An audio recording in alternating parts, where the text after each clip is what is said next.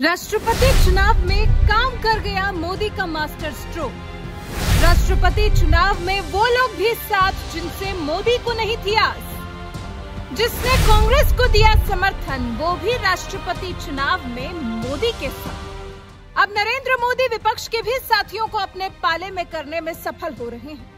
राष्ट्रपति चुनाव, जिसके लिए 18 जुलाई को वोटिंग होनी है। एनडीए की प्रत्याशी द्रौपदी मुर्मू और कांग्रेस समेत विपक्ष ने जिस चुनाव के लिए यशवंत सिन्हा पर दाव खेला है, उसी विपक्ष को एक के बाद एक झटका मिल रहा है, क्योंकि राष्ट्रपति चुनाव के मामले में मोदी का मास्टर स्ट्रोक काम कर गया और इसी के साथ ही बीजेपी नीत एनडीए की जीत लगभग तय हो गई।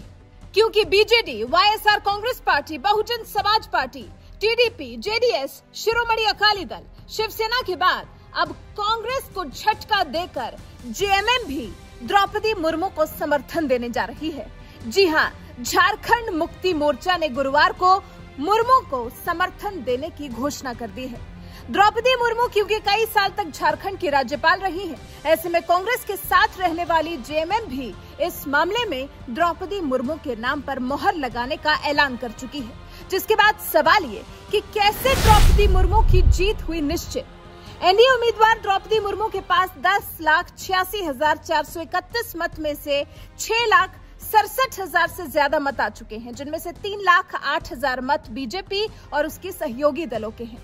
बीजेडी के पास बत्तीस हज़ार वोट हैं जो कुल मतों का दो दशमलव नौ फ़ीसदी है। ओडिशा की एक सदस्यीय विधानसभा में सत्तारूढ़ बीजेडी के 114 विधायक हैं जबकि बीजेपी के 22 विधायक हैं। लोकसभा में बीजेडी के 12 और राज्यसभा के 9 सदस्य हैं।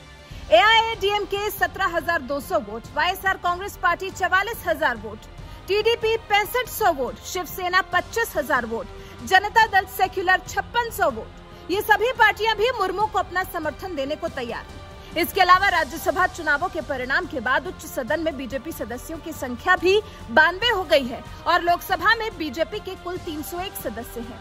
इन सब में झारखंड मुक्ति मोर्चा का झटका कांग्रेस को काफ़ी तेज लगा होगा, क्योंकि कांग्रेस की सहयोगी होने के बाद भी एनडीए के राष्ट्रपति पद के उम्मीदवार को अपना समर्थन दे रही है।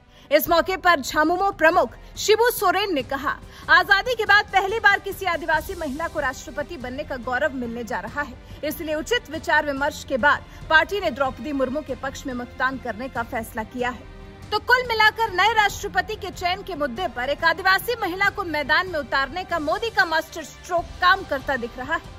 ये बीजेपी की एक तरह से बहुत बड़ी जीत है, क्योंकि पिछले कुछ हफ्तों में एनडीए उम्मीदवार को कई ऐसी पार्टियों का समर्थन मिला है, जो संयुक्त प्रगतिशील गठबंधन ब्लॉक का हिस्सा है। जैसे शिवसेना इसी तरह अनुसूचित जाति, अनुसूचित जनजाति, अन्य पिछड़ा वर्ग और अल्पसंख्यक के एजेंडा का समर्थन करते हुए आंध्र प्रदेश की सत्तारूढ़ वाईएसआर कांग्रेस और प्रतिद्वंदी तेलुगु देशम पार्टी भी मुर्मू के नामांकन पर सहमत हुई है।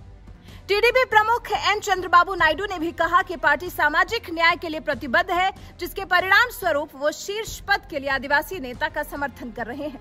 फिर पंजाब में शिरोमणि अकाली दल भी तो मुर्मू को ही अपना समर्थन दे रहा है। अब जब एनडीए उम्मीदवार द्रौपदी मुर्मू को जिताने के लिए विपक्षी पार्टियाँ भी साथ खड़ी दिखाई दे रही हैं, तो फिर भला उनको इस चुनाव में कौन हरा सकता है? आपको बता दें राष्ट्रपति चुनाव 18 जुलाई को होगा। 18 जुलाई को अपने कैंडिडेट के लिए वोट डाले जाएँगे। संयुक्त सत्रह विपक्षी दलों ने पूर्व केंद्रीय मंत्री यशवंत सिन्हा को अपने राष्ट्रपति पद के उम्मीदवार के तौर पर नामित किया है। वहीं एनडीए ने ओडिशा के मयूरभंज की एक आदिवासी महिला द्रौपदी मुर्मू को अपना उम्मीदवार घोषित किया वैसे जब द्रौपदी मुर्मू को इतना समर्थन हासिल है तो फिर क्या कहता है आपका गुणागढ़ क्या एनडीए कैंडिडेट द्रौपदी मुर्मू की जीत पक्की है? इस पर आपका क्या कुछ कहना है? कमेंट कर हमें अपनी राय ज़रूर बताएँ।